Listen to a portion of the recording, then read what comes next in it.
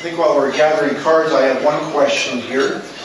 Uh, with the news that the U.S. might be considering a cargo tax on goods from BC ports, are you concerned about protectionism in the U.S.? Yes. well, not, not only that, I mean, you may or may not have noticed that uh, President Obama, uh, uh, I think about 10, maybe two weeks ago now, uh, announced um, uh, another round of stimulus spending. I think it was just over half a trillion dollars. Uh, and he is also uh, on that placed a buy U.S. criteria. So it just reinforces the importance to me of being in the Asian marketplace and particularly China, India, Korea. Uh, because uh, the Americans are continuing to contract, they continue to be more protectionist, and I see no sign that that will change anytime soon. Got a couple more questions here. We understand that a larger amount of the raw materials are being shipped to the outside of Canada. Is there a concern that a greater amount of work is being done outside the country rather than inside of the country? This, this kind of falls in the category of uh, what I was referring to statistically earlier on, that if you just kind of listen to the general media, you would believe that uh, the world was ending as we know it today and there was no hope for the future.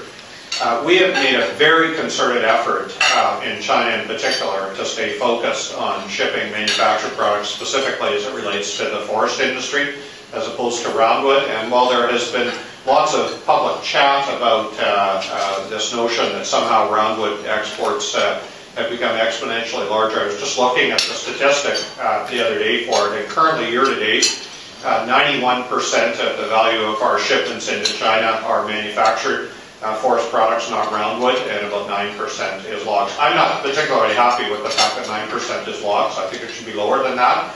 Uh, but compare that to Washington and Oregon, where about 60% is roundwood and about 40% is manufactured products, or New Zealand, where 100% is roundwood and 0% is manufactured products. We're still pretty well positioned. So we're going to stay focused on that. It's an important issue for, for all of us. Uh, but uh, I think we can be uh, pretty proud of, of uh, the stance that we've taken so far on that.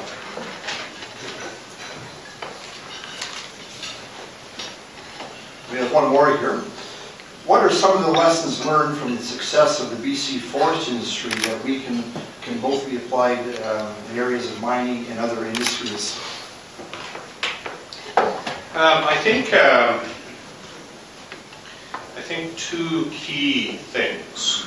First of all, mining will be different because it's probably about uh, uh, inbound investment, so uh, FDI, um, as opposed to forestry, which was about selling our product to a new market. So it, it was a, it's a different tactic that needs to take place. Uh, but uh, in terms of how do we replicate the experience that we have with forestry to other sectors, and actually use international education, because I think that's a, an appropriate one. I think it's a good model. Uh, the first uh, uh, key thing that we need to understand is that China and India are way too big for any one company or any one post-secondary institution to market themselves in.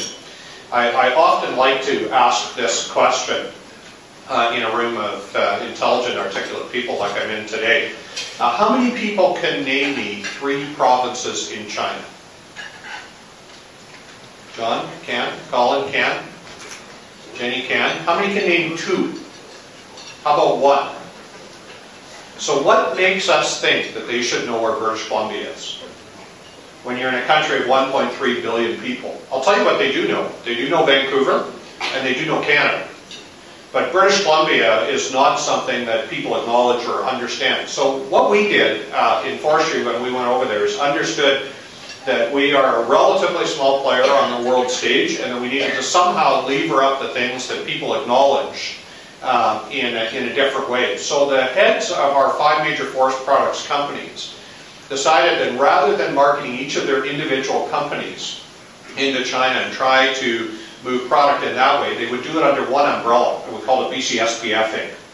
So BC Spruce Pine Fir Inc. So we had West Fraser, Canfor, Tolko, Interfor, and Western Forest Products all come under one umbrella.